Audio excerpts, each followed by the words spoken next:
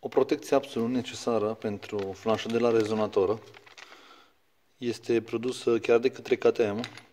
Este o variantă Power Parts.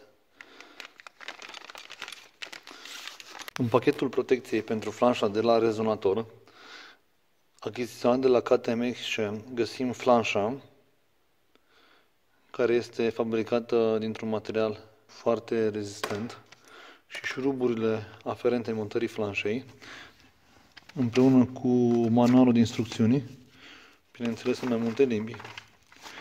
Ce face de, de fapt flanșa aceasta? Protejează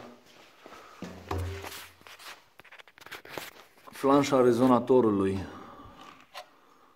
Ea vine instalată chiar în partea din spate, iar în cazul unui impact din uh, lateral,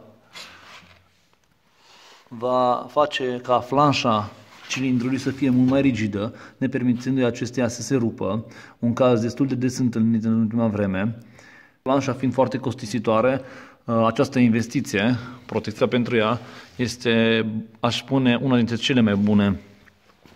Montajul se efectuează foarte ușor și rapid. Este necesar, aș spune, doar două scule.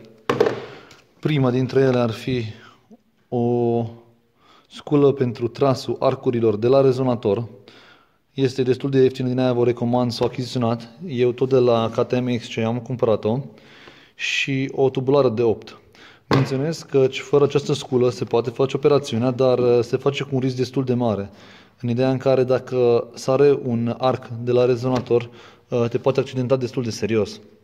Montajul efectuăm pe un KTM 6 Days 2019 se desface destul de rapid cele două șuruburi de la evacuarea finală.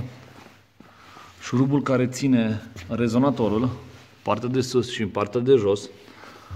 Ulterior se extrag afară cele două arcuri și în felul acesta se desface toată coloana de evacuare afară. Cu cheia tubulară de 8 se desface ambele șuruburi, atât de sus cât și de jos. Iar cu cheia specială celor de la FMF se scot afară arcurile foarte ușor. Atenție mare că pot exista accidentări la arcuri fiind foarte tari. Coloana de evacuare a fost complet demontată. În partea din față se desfac de pe flanșă șurubul acesta și șurubul acesta cu un imbus de 5 Ulterior se montează protecția flanșei cu șuruburile primite la pachet. Recomand strângerea șuruburilor progresiv.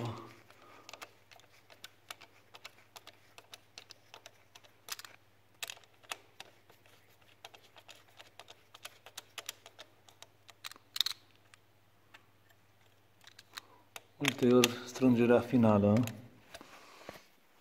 După fixarea protecției de flanșă și strângerea celor două șuruburi, Șurubul din partea de sus rămâne desfăcut. Unul dintre ultimii pași care mai trebuie făcuți în montarea completă a protecției pentru flanșă, după ce s-a montat evacuarea finală împreună cu rezonatorul, înainte de prinderea ultimului arc, se strânge acest șurub cu o cheie scurtă de 8 la un cuplu uh, de 10 Newton aproximativ. Pentru că este destul de dificil să ne dăm seama de cuplu.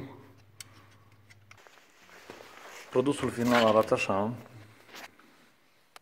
Precum vă spuneam și la începutul videoului, o găsiți la ktmxc.ro cu livrare imediată de pe stoc. Iar la un impact din stânga sau din dreapta a rezonatorului, Uh, va menține pe poziție fără să se fisureze flanșa originală. Este un accesoriu de protecție foarte important care ne recomandăm cu mare încredere.